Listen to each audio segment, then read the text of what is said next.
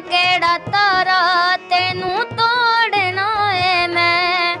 ਹੋਏ ਅੰਮੀ ਮੇਰੀ ਤੂੰ ਦੱਸ ਕਿਹੜਾ ਤਾਰਾ ਤੈਨੂੰ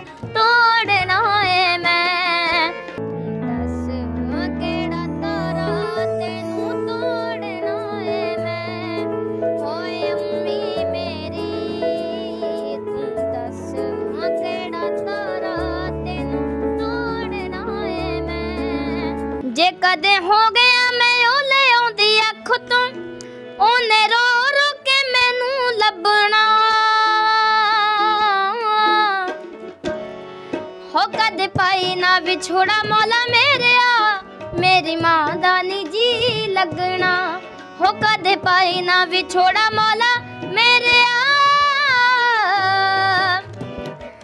ਮੇਰੀ ਮਾਂ ਦਾ ਨੀ ਜੀ ਲੱਗਣਾ ਹੋ ਮੇਰੀ ਮਾਂ ਦਾ ਨੀ ਜੀ ਲੱਗਣਾ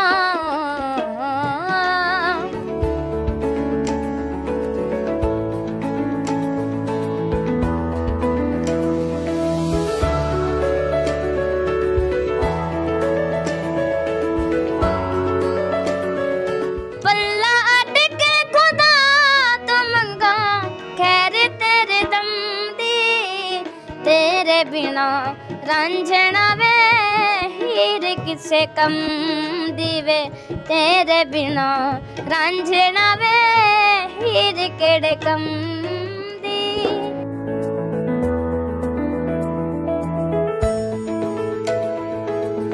ਪ੍ਰਾਈਮ ਟੀਵੀ ਚੈਨਲ ਦੇਖਣ ਵਾਲੇ ਸਾਰੇ ਹੀ ਦਰਸ਼ਕਾਂ ਨੂੰ ਜੋਗਿੰਦਰ ਸਿੰਘ ਗਿੱਲ ਮੋਗਾ ਵੱਲੋਂ ਸਤਿ ਸ੍ਰੀ ਅਕਾਲ ਜੀ। ਦੋਸਤੋ, ਅੱਜ ਅਸੀਂ ਪਹੁੰਚੇ ਹਾਂ ਜ਼ਿਲ੍ਹਾ ਫਿਰੋਜ਼ਪੁਰ ਦੇ ਸ਼ਹਿਰ ਮੁੱਦਕੀ ਵਿਖੇ। ਜਿੱਥੇ ਅੱਜ ਅਸੀਂ ਤੁਹਾਡੀ ਮੁਲਾਕਾਤ ਕਰਾਵਾਂਗੇ, ਬਹੁਤ ਹੀ ਸੁਰੀਲੇ ਗਾਇਕ, ਛੋਟੇ ਬੱਚੇ ਯੁਵਰਾਜ ਸਿੰਘ ਮੁਦਕੀ ਦੇ ਨਾਲ ਔਰ ਉਸ ਦਾ ਗਾਉਣ ਦੇ ਵਿੱਚ ਉਸ ਦਾ ਸਾਥ ਦਿੰਦਾ ਹੈ, ਉਸ ਦਾ ਛੋਟਾ ਬ੍ਰਦਰ ਯਸ਼ਰਾਜ ਸਿੰਘ, ਜਿਸ ਦੀ ਉਮਰ 9 ਸਾਲ ਹੈ। ਆਓ ਤੁਹਾਨੂੰ ਮਿਲਵਾਉਂਦੇ ਹਾਂ ਇਸ ਜੋੜੀ ਦੇ ਨਾਲ।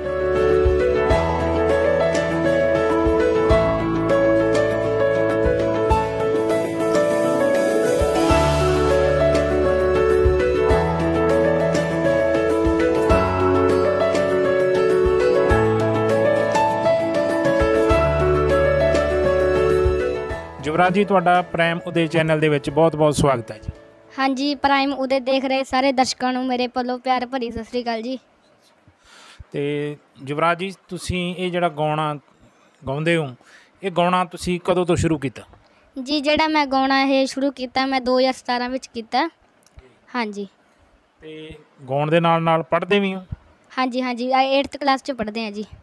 ਕਿਹੜੇ ਸਕੂਲ 'ਚ ਪੜ੍ਹਦੇ ਹੋ? ਜੀ ਇੱਥੇ ਮੁਦਕੀ ਜੀ ਸਰਕਾਰੀ ਸਕੂਲ ਚ ਪੜ੍ਹਦੇ ਆ ਜੀ। ਹਾਂਜੀ। ਤੇ ਇਹ ਗਾਉਣ ਦੀ ਸਿੱਖਿਆ ਤੁਸੀਂ ਕਿੱਥੋਂ ਲਈ? ਜੀ ਇਹ ਗਾਉਣ ਦੀ ਸਿੱਖਿਆ ਮੇਰੇ ਉਸਤਾਦ ਜੀ ਗੁਰਮੀਤ ਸਿੰਘ ਮੋਗੇ ਤੋਂ ਆ ਜੀ। ਬਹੁਤ ਉਹਨਾਂ ਨੇ ਉਹਨਾਂ ਨੇ ਪਹਿਲੀ ਪਹਿਲੀ ਸੁਰ ਤੇ ਉਹਨਾਂ ਨੇ ਹੱਥ ਰਖਾਇਆ ਸੀ ਜੀ। ਹਾਂਜੀ। ਤੇ ਹੁਣ ਤੱਕ ਤੁਸੀਂ ਕਿੱਥੇ-ਕਿੱਥੇ ਗਾ ਚੁੱਕੇ ਹੋ? ਇਹਦੇ ਬਾਰੇ ਵੀ ਸਾਡੇ ਦਰਸ਼ਕਾਂ ਨੂੰ ਜ਼ਰੂਰ ਜਾਣਕਾਰੀ ਦਿਓ। ਹਾਂਜੀ ਬਹੁਤ ਜਗ੍ਹਾ ਗਾ ਚੱਕੇ ਚੁੱਕੇ ਆ ਜੀ। ਕੰਪੀਟੀਸ਼ਨ ਵੀ ਬਹੁਤ ਲੜੇ ਆ ਇੱਕ ਪਹਿਲਾ ਕੰਪੀਟੀਸ਼ਨ ਲੜਿਆ ਸੀਗਾ ਇਹ ਜਲੰਧਰ ਸਿਟੀ ਕਾਲਜ 'ਚ। ਤੇ ਹੁਣ ਹੁਣ ਇੱਕ ਡੀਡੀ ਪੰਜਾਬੀ ਤੇ ਸੁਰ ਸਾਗਰ ਉਹਨਾਂ 'ਚ ਵੀ ਅਸੀਂ ਸਟੂਡੀਓ ਰਾਊਂਡ 'ਚ ਪਹੁੰਚ ਚੁੱਕੇ ਆ ਹਾਂਜੀ। ਤੇ ਬੇਟਾ ਤੁਹਾਡੇ ਹੁਣ ਤੱਕ ਕਿੰਨੇ Song ਰਿਕਾਰਡ ਹੋਏ ਆ? ਜੀ ਹੁਣ ਤੱਕ 4 Song ਆ ਚੁੱਕੇ ਆ। ਹਾਂਜੀ ਮਾਰਕੀਟ 'ਚ 4 Song ਆ ਚੁੱਕੇ ਆ ਤੇ ਤਿੰਨ ਤਿੰਨ Song ਹੋਰ ਰਿਕਾਰਡ ਕਰਾਏ ਆ ਜੀ ਹਾਂਜੀ। ਇਹ ਜਿਹੜੇ ਗੀਤ ਤੁਸੀਂ ਗਾਉਂਦੇ ਹੋ ਇਹ ਕਿਸ ਦੇ ਲਿਖੇ ਹਨ ਗੀਤ? ਜੀ ਇਹ ਮੇਰੇ ਪਾਪਾ ਜੀ ਦੇ ਲਿਖੇ ਆ ਜੀ ਹਾਂਜੀ। ਕੀ ਨਾਮ ਹੈ ਤੁਹਾਡੇ ਪਾਪਾ ਜੀ ਦਾ? ਹਰਨੇਕ ਸਿੰਘ ਜੀ। ਹਾਂਜੀ। ਤੇ ਅੱਜ ਸਾਡੇ ਦਰਸ਼ਕਾਂ ਨੂੰ ਤੁਸੀਂ ਕਿਹੜੇ-ਕਿਹੜੇ ਗੀਤ ਸੁਣਾਓ ਹਾਂਜੀ ਸੁਣਾ ਦਿੰਨੇ ਜੀ। ਹਾਂਜੀ ਜੀ ਖਾਨ ਜੀ ਦਾ ਮਾਂ ਮਾਂ Song ਸੁਣਾ ਦਿੰਨੇ ਜੀ। ਹਾਂ ਸੁਣਾਓ ਜੀ। ਜੇ ਕਦੇ ਹੋ ਗਿਆ ਮੈਂ ਉਹ ਲੈ ਆਉਂਦੀ ਅੱਖ ਤੋਂ ਹੈ ਜੇ ਕਦੇ ਹੋ ਗਿਆ ਮੈਂ ਉਹ ਲੈ ਆਉਂਦੀ ਅੱਖ ਤੋਂ ਉਹਨੇ ਰੋ ਰੋ ਕੇ ਮੈਨੂੰ ਲੱਭਣਾ। ਕਦੇ ਪਾਈ ਨਾ ਵਿਛੋੜਾ ਮੌਲਾ ਮੇਰਿਆ। ਮੇਰੀ ਮਾਂ ਦਾ ਨੀ ਜੀ ਲੱਗਣਾ। ਹੋ ਕਦੇ ਪਾਈ ਨਾ ਵਿਛੋੜਾ ਮੌਲਾ ਮੇਰਿਆ। ਮੇਰੀ ਮਾਂ ਦਾ ਨੀ ਜੀ ਲੱਗਣਾ। ਹੋ ਮੇਰੀ ਮਾਂ ਦਾ ਨੀ ਜੀ ਲੱਗਣਾ।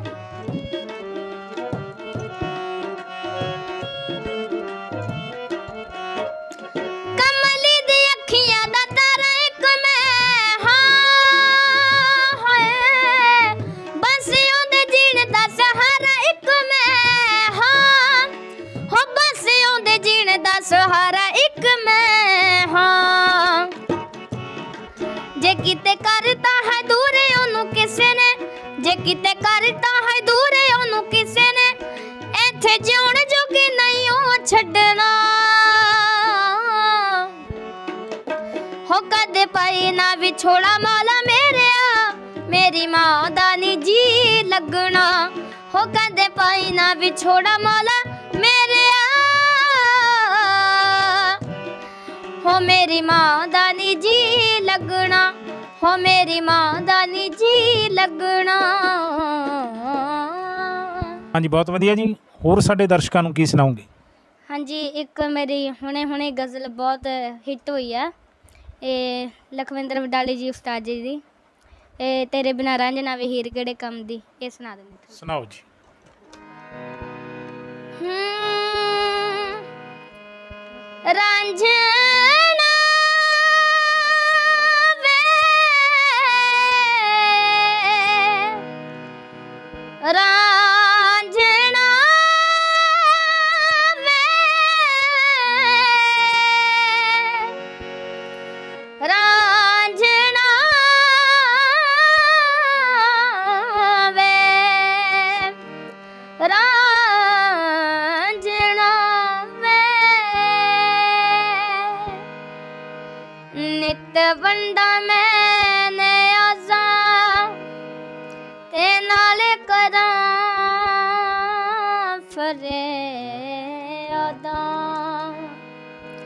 ਨਿਤ ਵੰਡਾ ਮੈਨੇ ਆਜ਼ਾ। ਤੇ ਨਾਲ ਕਰਾਂ ਫਰਿਆਦਾ। ਪੱਲਾ ਅੱਡ ਕੇ ਖੁਦਾ ਤੋਂ ਮੰਗਾ। ਖੈਰ ਤੇਰੇ ਦਮ ਦੀ, ਤੇਰੇ ਬਿਨਾ ਰਾਂਝਣਾ ਵੇ ਹੀਰ ਕਿਸੇ ਕੰਮ ਤੇਰੇ ਬਿਨਾ ਰਾਂਝਣਾ ਵੇ ਹੀਰ ਕਿਹੜੇ ਕੰਮ ਦੀ। ਨਿਤ ਵੰਡਾ ਮੈਨੇ ਆਸਾਂ, ਨਿਤ ਵੰਡਾ ਮੈਨੇ ਆਸਾਂ ਤੇ ਨਾਲ ਕਰਾਂ ਫਰਿਆਦਾ।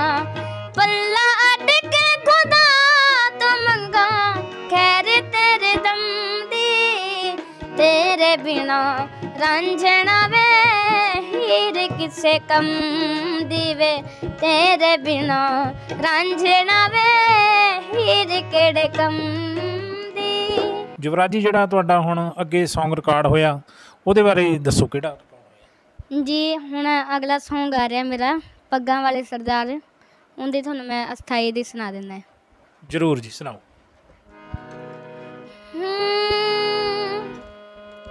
ਹੋ। ਅਸੀਂ ਦਿਲ ਦੇ ਨੀ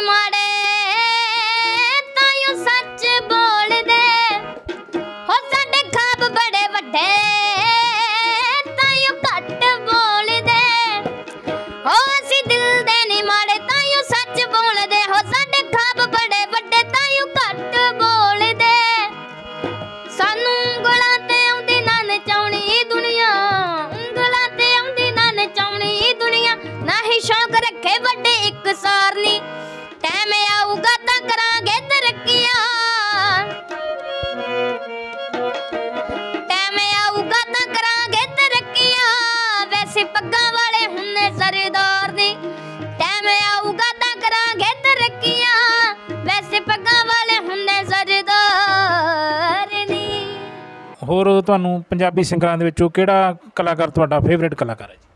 ਹਾਂਜੀ ਜਿੰਨੇ ਵੀ ਮੇਰੇ ਪਾਕਿਸਤਾਨੀ ਜਿਹੜੇ ਸਿੰਗਰ ਆ ਹਾਂਜੀ ਉਹ ਸਾਰੇ ਮੈਨੂੰ ਪਸੰਦ ਆ ਜੀ ਜਿਵੇਂ ਕਿ ਮਾਸਟਰ ਸਲੀਮ ਜੀ ਖਾਨ ਜੀ ਇਹ ਵੀ ਮੈਨੂੰ ਬਹੁਤ ਪਸੰਦ ਆ ਜੀ ਸਾਰੇ। ਤੇ ਹੁਣ ਸਾਡੇ ਦਰਸ਼ਕਾਂ ਨੂੰ ਤੁਸੀਂ ਕਿੰਨਾ ਦਾ ਗਾਣਾ ਸੁਣਾਓਗੇ? ਹੁਣ ਜੀ ਮੈਂ ਤੁਹਾਨੂੰ ਜੀ ਕਮਲ ਖਾਨ ਜੀ ਉਸਤਾਦ ਜੀ ਦਾ ਉਹਨਾਂ ਦਾ ਸੁਣਾਉਣ ਜਾ ਰਿਹਾ ਜੀ। ਹਾਂਜੀ ਸੁਣਾਓ ਜੀ।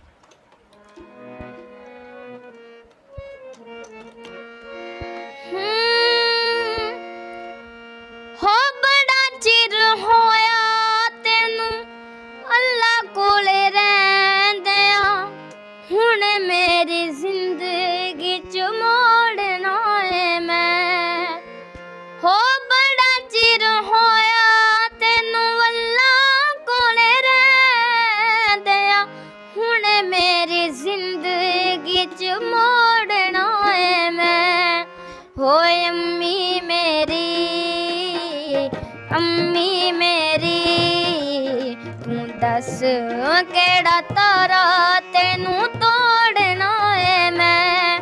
ਹੋਏ ਅੰਮੀ ਮੇਰੀ ਤੂੰ ਦੱਸ ਕਿਹੜਾ ਤਾਰਾ ਤੈਨੂੰ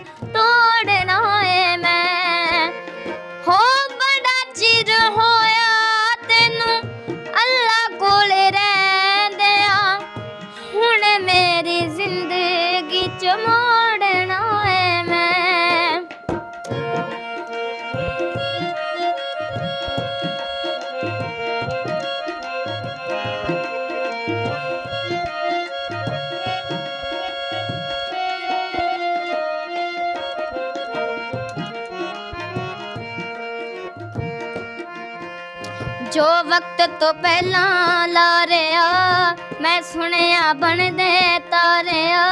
ਮੈਂ ਕਿੱਥੋਂ ਲੱਭਾਂ ਤੈਨੂੰ ਨੀ, ਇਹ ਤਾਰੇ ਕਿੰਨੇ ਸਾਰੇ ਆ ਜੋ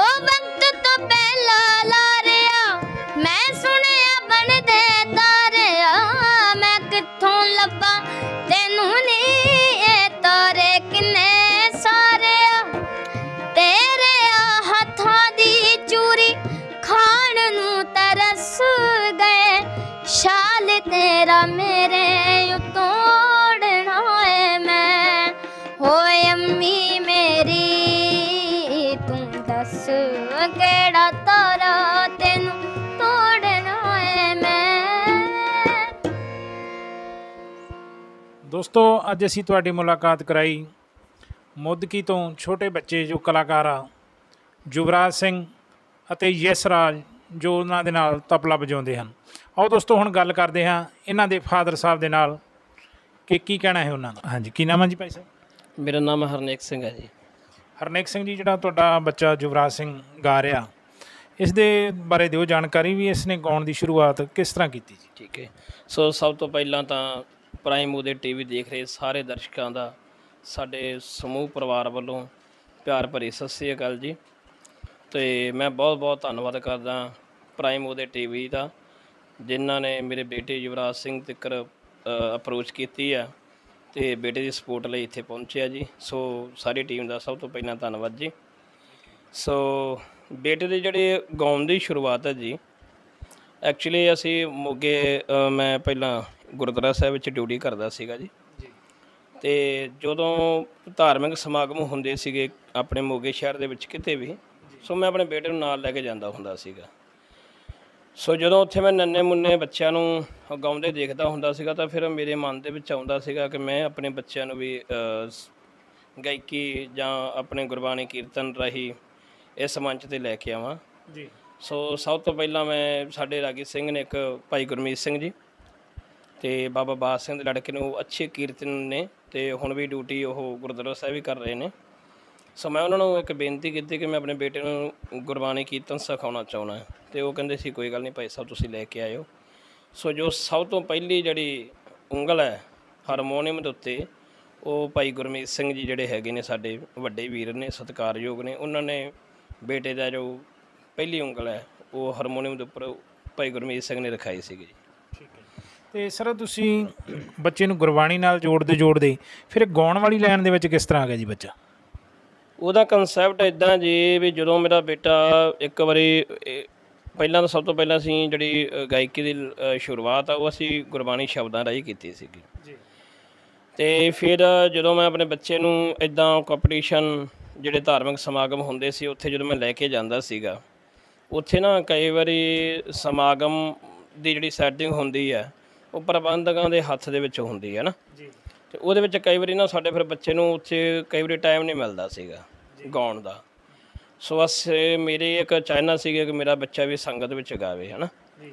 ਤੇ ਫਿਰ ਸਾਨੂੰ ਇੱਕ ਮੈਸੇਜ ਆਇਆ WhatsApp ਰਾਹੀਂ ਜਲੰਧਰ ਤੋਂ ਸਿਟੀ ਕਾਲਜ ਚੋਂ। ਉੱਥੇ ਬੱਚਿਆਂ ਦਾ ਕੰਪੀਟੀਸ਼ਨ ਸੀਗਾ। ਜੀ। ਤੇ ਮੈਂ ਕਿਹਾ ਚਲੋ ਵੀ ਬੱਚਿਆਂ ਨੂੰ ਕੋਈ ਨਾ ਵੀ ਆਪਾਂ ਚਲੋ ਕੰਪੀਟੀਸ਼ਨ ਲੜਾਉਣਾ ਕਿਉਂਕਿ ਆਪਾਂ ਇੱਧਰ ਵੀ ਟਰਾਈ ਕਰਕੇ ਦੇਖਦੇ ਹਾਂ। ਫਿਰ ਉੱਥੇ ਸਿੰਗਿੰਗ ਸਟਾਰ ਦਾ ਕੰਪੀਟੀਸ਼ਨ ਸੀਗਾ।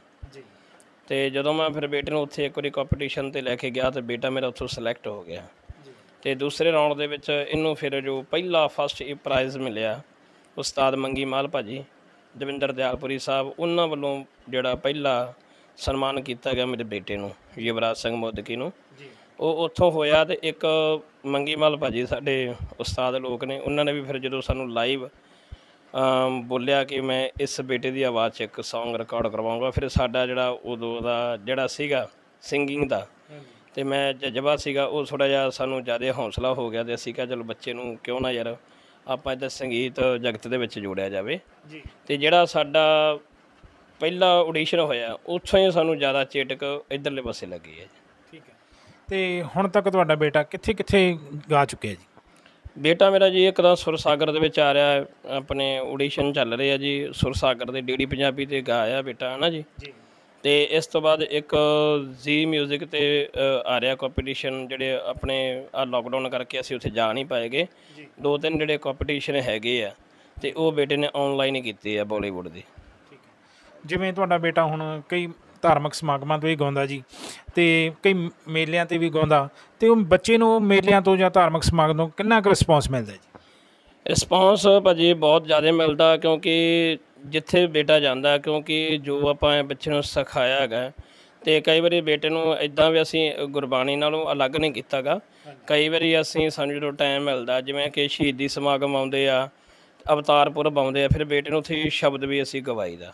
ਤੇ ਗੁਰਬਾਣੀ ਸ਼ਬਦਾਂ ਦੇ ਵਿੱਚੋਂ ਸਾਨੂੰ ਬਹੁਤ ਰਿਸਪੌਂਸ ਮਿਲ ਜਾਂਦਾ। ਤੇ ਪਰ ਜਿਹੜਾ ਸਿੰਗਿੰਗ ਹੈਲਾ ਜਿਵੇਂ ਮੇਲਿਆਂ 'ਚ ਗਾਉਣ ਜਾਂਦਾ ਬੇਟਾ ਤੇ ਜਾਂ ਮਤਲਬ ਕਿਸੇ ਸਿੰਗਰ ਦੇ ਕੋਲੇ ਬਹਿ ਕੇ ਗਾਉਂਦਾ ਤੇ ਉਦੋਂ ਭਾਈ ਸਾਰੇ ਰਿਸਪੌਂਸ ਬਹੁਤ ਵਧੀਆ ਦਿੰਦੇ ਹੈਗੇ। ਤੇ ਵੈਸੇ ਵੀ ਜਦੋਂ ਹੁਣ ਅਸੀਂ ਫੇਸਬੁੱਕ ਨੈਟ ਤੇ ਜਦੋਂ ਇਹਦੀ ਕੋਈ ਵੀਡੀਓ ਕਰਦੇ ਆ ਵਾਇਰਲ ਤੇ ਕਾਫੀ ਸਾਨੂੰ ਕਮੈਂਟ ਆਉਂਦੇ ਆਪਣਾ ਨੰਬਰ ਸੈਂਡ ਕਰੋ ਜੀ ਇੱਕ ਦੋ ਕੰਪਨੀਆਂ ਇਦਾਂ ਦੀਆਂ ਵੀ ਹੈਗੀਆਂ ਜਿਹੜੀਆਂ ਬੇਟੇ ਨੂੰ ਸਾਈਨ ਕਰਨ ਨੂੰ ਵੀ ਕਹਿੰਦੀਆਂ। ਹਾਂਜੀ।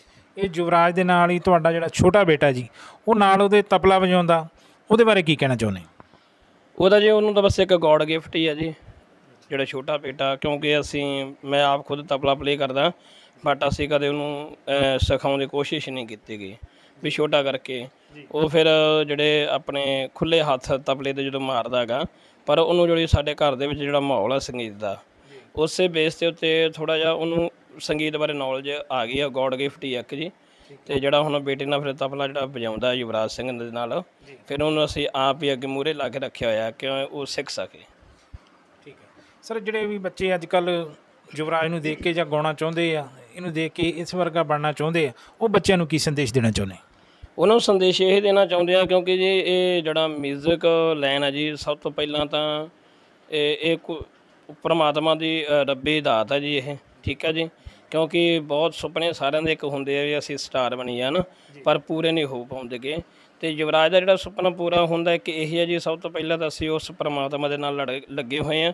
ਕਿਉਂਕਿ ਅਸੀਂ ਸਵੇਰੇ 4 ਵਜੇ ਉੱਠਦੇ ਆ ਜੀ। ਉਹਦੇ ਵਿੱਚ ਨਿਤਨੇਮ ਹੁੰਦਾ ਜੀ ਸਾਡੇ ਘਰ ਦੇ ਵਿੱਚ। ਫਿਰ ਗੁਰੂ ਸਾਹਿਬ ਨੂੰ ਭੋਗ ਲੱਗਦਾ ਹੈ ਪ੍ਰਸ਼ਾਦੇ ਪਾਣੀ ਦਾ। ਇਸ ਤੋਂ ਬਾਅਦ ਫਿਰ ਯੁਵਰਾਜ ਨੂੰ ਅਸੀਂ 5:30 ਵਜੇ ਤੋਂ ਲੈ ਕੇ 8 ਵਜੇ ਤੱਕ ਰਿਆਜ਼ ਕਰਵਾਈਦਾ। ਤੇ ਇਹ ਜਿਹੜੀ ਮਿਹਨਤ ਆ ਇਹ ਲਗਾਤਾਰ ਸਾਨੂੰ 3 ਸਾਲ ਹੋ ਗਏ ਆ। ਤੇ ਸ਼ਾਮ ਨੂੰ 3 ਤੋਂ 6 ਆ ਹੁਣ ਵੀ ਬੱਚੇ ਆਏ ਆ, ਵੀ ਦੇਖੋ, ਤੁਹਾਡੇ ਸਾਹਮਣੇ ਆਏ ਆ। ਇਹ ਸਾਡਾ ਇਹੀ ਟਾਈਮ ਹੁੰਦਾ ਰਿਆਜ਼ ਦਾ। ਇਹ 3 ਤੋਂ ਸ਼ਾਮ ਨੂੰ 6 ਵਜੇ ਰਹਿ ਰਸ ਤੋਂ ਪਹਿਲਾਂ। ਤੇ ਫਿਰ ਇਹ ਸਾਰਾ ਜਿਹੜਾ ਕਨਸੈਪਟ ਹੈ ਜੀ ਸਟਾਰ ਬੰਦਾ ਜਾਂ ਅੱਗੇ ਜਾਉਂਦਾ, ਇਹ ਸਭ ਮਿਹਨਤ ਹੀ ਹੈ ਜੀ। ਮਿਹਨਤ ਕਰੋ, ਮਾੜੀ ਸੰਗਤ ਤੋਂ ਬਚੋ। ਤੇ ਬਸ ਮਿਹਨਤ ਕਰੋਗੇ ਤਾਂ ਅੱਗੇ ਆਪੇ ਵੱਧ ਪਰਮਾਤਮਾ ਨੇ ਲੈ ਜਾਣਾ ਨਾ। ਠੀਕ ਹੈ। ਸਾਡੇ ਚੈਨਲ ਪ੍ਰਾਈਮ ਦੇ ਨਾਲ ਵਿਸ਼ੇਸ਼ ਤੁਸੀਂ ਗੱਲਬਾਤ ਕਰਨ ਲਈ ਟਾਈਮ ਦਿੱਤਾ ਜੀ। ਤੁਹਾਡਾ ਬਹੁਤ ਬਹੁਤ ਧੰਨਵਾਦ। ਜੀ, ਤੁਹਾਡਾ ਵੀ ਸਾਡੀ ਟੀਮ ਦਾ ਵੀ ਬਹੁਤ ਬਹੁਤ ਧੰਨਵਾਦ। ਸੋ ਮੈਂ ਸਾਰੇ ਦਰਸ਼ਕਾਂ ਨੂੰ ਇੱਕ ਜ਼ਰੂਰ ਦੱਸਣਾ ਚਾਹੁੰਦਾ ਕਿ ਮੇਰੇ ਬੇਟੇ ਦੇ ਜਿਹੜੇ ਮਾਰਕੀਟ ਦੇ ਵਿੱਚ ਚਾਰ ਸੌਂਗ ਆ ਚੁੱਕੇ ਆ ਤੇ ਤਿੰਨ ਜਿਹੜੇ ਸੌਂਗ ਆ, ਇੱਕ ਪੱਗਾਂ ਵਾਲੇ ਸਰਦਾਰ, ਇੱਕ ਮਾਵਾਂ ਤੇ ਇੱਕ ਧੰਨ ਸ਼੍ਰੀ ਗੁਰੂ ਨਾਨਕ ਦੇਵ ਜੀ ਮਹਾਰਾਜ, ਉਹਨਾਂ ਦੇ ਆ ਰਹੇ ਅਵਤਾਰ ਪੁਰਬ 30 ਨਵੰਬਰ ਨੂੰ। ਤੇ ਉਸ ਸਬੰਧ ਦੇ ਵਿੱਚ ਜੋ ਕਿ ਦਾਸ ਵੱਲੋਂ ਲਿਖੇ ਗਏ ਸਾਰੇ ਸੌਂਗ ਆ ਤੇ ਉਹਨਾਂ ਨੂੰ ਤੁਸੀਂ ਜ਼ਰੂਰ ਸੁਣਨਾ ਤੇ ਵੱਧ ਤੋਂ ਵੱਧ ਬੱਚੇ ਦੀ ਸਪੋਰਟ ਕਰਨਾ ਜੀ। ਤੇ ਸਾਰੀ ਟੀਮ ਦਾ ਵੀ ਤੁਹਾਡਾ ਸਾਰੀ ਦਾ ਧੰਨਵਾਦ ਜੀ। ਥੈਂਕ ਯੂ ਜੀ। ਦੋਸਤੋ, ਅੱਜ ਅਸੀਂ ਪਹੁੰਚੇ ਸੀ ਜ਼ਿਲ੍ਹਾ ਫਿਰੋਜ਼ਪੁਰ ਦੇ ਸ਼ਹਿਰ ਮੁਦਕੀ ਵਿਖੇ, ਜਿੱਥੇ ਤੁਹਾਡੀ ਮੁਲਾਕਾਤ ਕਰਾਈ ਆ ਇੱਕ ਛੋਟੇ ਬੱਚੇ ਯੁਵਰਾਜ ਨਾਲ, ਜੋ ਕਿ ਬਹੁਤ ਹੀ ਵਧੀਆ ਸੁਰੀਲਾ ਗਾਇਕ ਹੈ ਔਰ ਉਸ ਦੇ ਹੁਣ ਤੱਕ ਮਾਰਕੀਟ ਦੇ ਵਿੱਚ ਚਾਰ ਗੀਤ ਆ ਚੁੱਕੇ ਹਨ ਔਰ ਕੁਝ ਗੀਤ ਹਲੇ ਆਉਣੇ ਬਾਕੀ ਹਨ। ਵੀ ਇਸ ਸੁਰੀਲੇ ਗਾਇਕ ਦੇ ਪਰਿਵਾਰ ਦੇ ਨਾਲ ਵੀ ਤੁਹਾਡੀ ਮੁਲਾਕਾਤ ਕਰਾਈ। ਪ੍ਰੈਮ ਉਹਦੇ ਲਈ ਕੈਮਰਾਮੈਨ ਬਲਜੀਤ ਢਾਲੀਵਾਲ ਦੇ ਨਾਲ ਜੋਗਿੰਦਰ ਸਿੰਘ ਗਿੱਲ ਦੀ ਖਾਸ ਰਿਪੋਰਟ।